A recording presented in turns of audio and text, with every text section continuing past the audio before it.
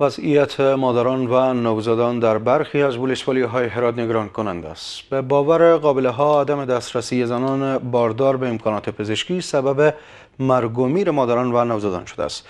از سوی هم ریاست صحت‌عامه هرات به همکاری یک دفتر خارجی یا آشیانه های صحی را برای خدمات رسانی به مادران و نوزادان در برخی ولسوالی های این ولایت ایجاد کرده و قرار است قابله ها در این مراکز به مادران خدمات بهداشتی را ارائه کنند.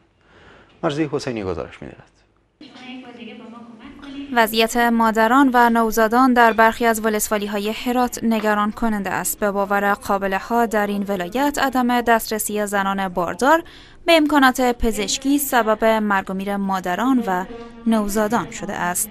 در سابق در خانه ها ولادت ها صورت می گرفت و باعث از شد که باعث هم مرگ مادر هم مرگ طفلی می شد و از اثر اختلاطاتی که بعد از ولادت به مادر به وجود خدمات صحی چون اگه بخوام مثلا یک سر بچه اینا یک سرماخوردگی خورده بگیره حتی اونا یک مطرف نقلیه وسیله نقلیه ندارن که بچه خو به مرکز صحی انتقال بده. مسئولان در ریاست صحت‌عامه هرات می‌گویند محلی را تحت نام آشیانه های صحی در برخی از ولسوالی ها جهت خدمات رسانی ایجاد کرده اند و ما پیشنهاد برای 100 آشیانه صحی برای مناطقی که در او بین 500 نفر تا 1500 نفر زندگی می‌کنه و خدمات صحی وجود نداره ما پیشنهاد از اونا را کردیم که 25 تایش فعال میشه.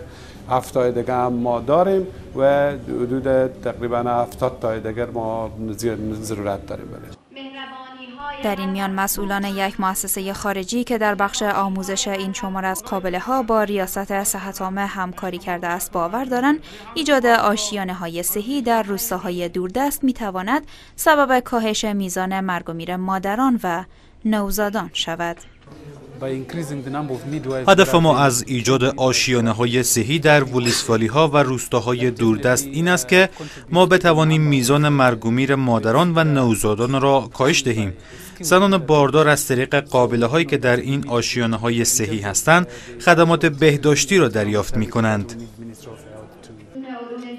افغانستان یکی از کشورهایی است که میزان مرگ و میر زنان در هنگام ولادت در آن بلند است. بر اساس آمار موجود چند سال پیش از میان 100 هزار زن 1600 تن در هنگام ولادت جان خود را از دست می‌داد. اما اکنون میزان مرگ و میر مادران به 700 مورد از 100 هزار کاهش یافته است.